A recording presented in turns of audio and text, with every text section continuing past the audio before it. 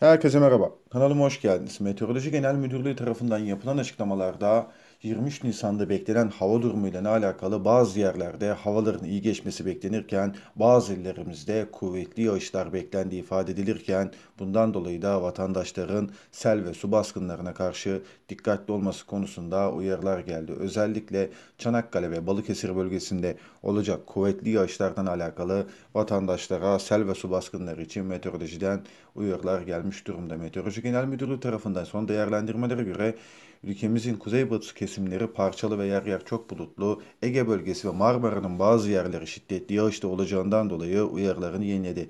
Çanakkale ile Balıkesir'in kuzey işlerinin kuvvetli sağanak yağışlı, diğer yerlerin ise az bulutlu geçeceği, doğu tarafların ise açık havaya sahip olacağı ifade edildi. Özellikle Ege ve Marmara bölgesi için kuvvetli yağış uyarısı yapan Meteoroloji Genel Müdürlüğü Karadeniz'in bazı kıyı kesimlerinde de yağışların etkili olacağı ifade edildi ve 16 tane ilimizden bahsedilerekten İzmir, Manisa, Çanakkale, Balıkesir, Bursa, Yalova, İstanbul, Bilecik, Kocaeli, Sakarya, Bolu, Düzce, Zonguldak, Bartın, Kastamonu ve Sinop gibi illerimizde 16 tane ilimizde kuvvetli sağanak yağışlar bekleniyor. Bundan dolayı da vatandaşlarımızın sel su baskınlarına karşı tedbirli olması gerekmektedir. Uyarısı geldi Meteoroloji Genel Müdürlüğü'nden son yapılan açıklamalara göre. Konuyla alakalı yorumlar sizin. Sonraki videolarda görüşmek dileğiyle lütfen sosyal mesafe, temizlik ve maske kurallarına uymaya özen gösterelim. Şimdilik hoşçakalın.